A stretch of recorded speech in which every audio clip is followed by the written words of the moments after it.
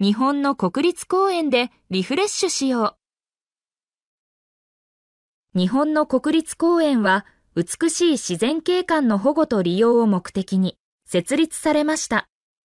そして1931年に日本で初めて国立公園法が制定されました。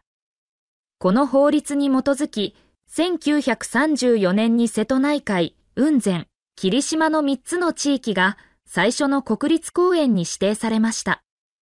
戦後、1957年には自然公園法が制定され、さらに保護体制が強化されました。現在日本全国には34カ所の国立公園があります。国立公園の主な役割は美しい自然の保護です。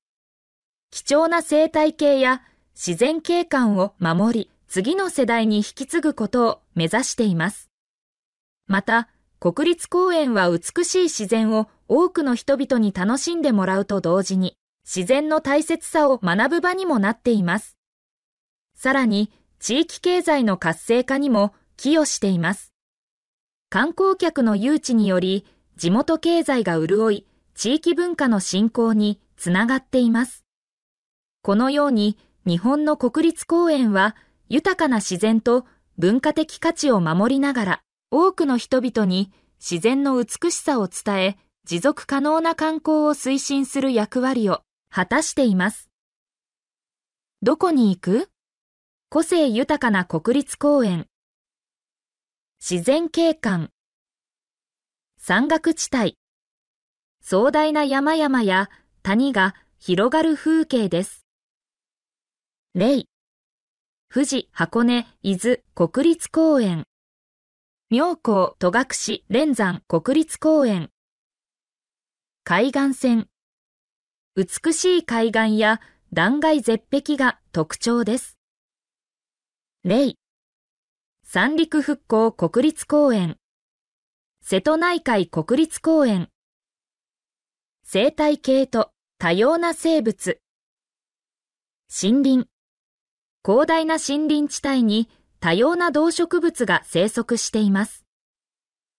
例、屋久島国立公園、白山国立公園、湖と湿地。湖や湿地に多くの水生生物が生息しています。例、十和田八幡平国立公園、釧路湿原国立公園、歴史と文化。歴史的遺跡。文化的価値のある遺跡や建造物が存在します。例。日光国立公園。日光東照宮。伝統文化。地域の伝統や文化を体験できます。例。伊勢島国立公園。伊勢神宮や天文化など。阿寒マ州国立公園。アイヌ文化。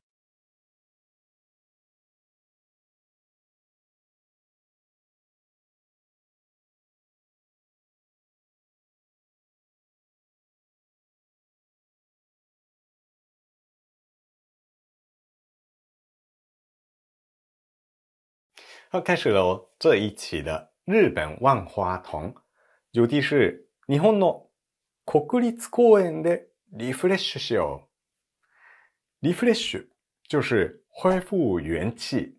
可能工作压力大，读书很累的时候，精神很疲累嘛。但是呢，refresh，像你去旅行的时候啊，回来感觉哇，重新恢复元气的感觉，这个就是 refresh 的意思。好啊，那我们一起来看一下哦。那首先呢。 我的进行方式就是先读读一个段落，请大家这个时候啊跟我一起念哦，好吗？练习朗读哦。那再来呢，我也会介绍一些重点了，好吗？跟那个游台湾学日文一样的进行方式。好，那这个系列的话呢，呃，我会分上下两部影片来讲解哦。好，看看这个。段落。日本の国立公園は美しい自然景観の保護と利用を目的に設立されました。そして1931年に日本で初めて国立公園法が制定されました。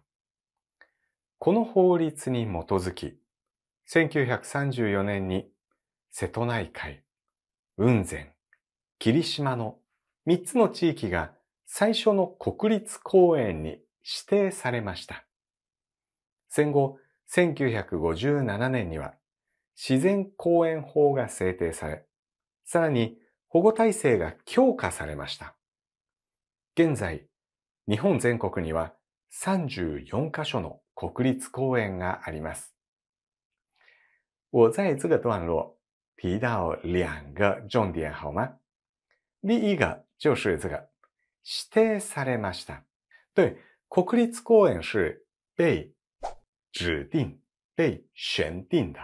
所以呢，被选这个会说指定されます。指定されます。可以吗？再来呢，下一个要点就是这个強化されました。強化されました，就是被强化的意思。在日文的“ 強化”这个词是很广用。例如说，你训练肌肉的时候啊。你可以说筋肉を強化する，这个 OK。那再来呢？有一些酒精饮料日造的时候，另外加酒精来加强它的酒精帕数。日本会说，呃，アルコール 度数を強化する，会这样子说。又或者说，チームを強化する，也有这样的词。意思是，可能是有一些球队啊，那一个礼拜的时间去特别训练、集中训练来强化的时候啊，我们会说チームを強化する。所以呢，日文的強化强化这个词的用途很广。 那么我们看看下一个段落。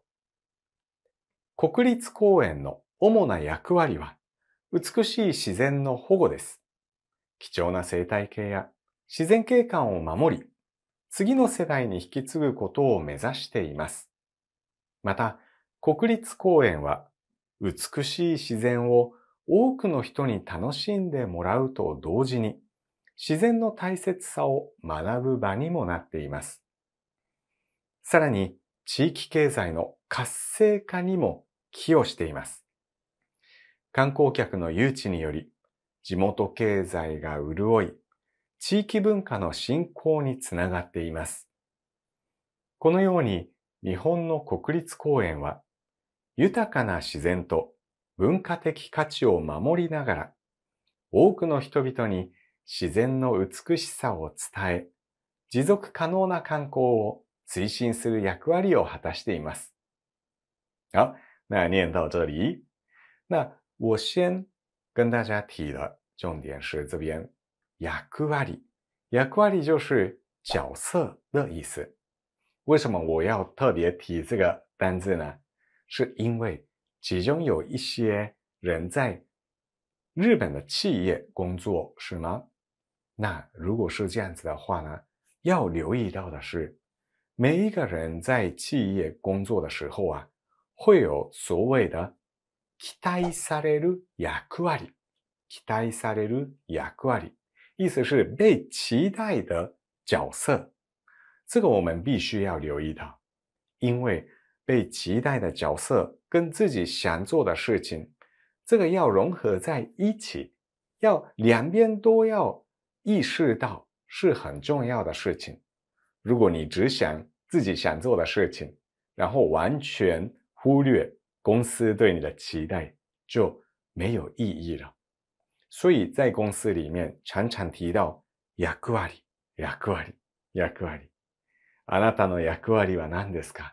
你的角色，意思就是你被期待的这个任务或者是角色是什么呢？是这样的意思。 所以呢，役割这个词，请你好好记得哦。那下一个重点就是这个，寄与しています。寄与就是贡献的意思。所以你可以换句话说，活性化にも貢献しています也 OK 的，好吧？所以两边的说法都可以。貢献しています比较白话一点啦。再来呢，観光客の誘致，誘致，对啊，幼稚这个词中文有吗？那日文的这个誘致的意思是什么？我们翻到这里就会出现，你看这个就是招揽的意思。例句说，大企業の誘致に成功し、地域経済が大きく活性化しました。成功招揽大企业，好啊，誘致这个词，呃，也是会常常看到的，请留意一下哦。 回到刚才的段落，这个这一页的要点大概是这样子的。我们可以看看下一个。那这一页呢，是因为没有文章，所以我不会全部念，但是可以留意一些呃其中的重点。好，首先呢，我们可以留意到这个生態系と多様な生物，对，就是多样性的生物的时候会用多様这个词，多样。那这个是可以用来表示动物、植物，像这边说的多様な動植物这种说法也可以。但是呢，现在嗯，在日本的一些社会关系也是会用到多様，或者说多様性。例如，呃，我们会常常提出所谓的永续什么什么。嗯，日本也会常常用 SDGs，有听过吗？在其中一个目标就是，えっと多様性を受け入れること。多様性を受け入れる，要接受多样化的一些人的情况或立场，可能是呃有包含性别呀， 或是人种啊。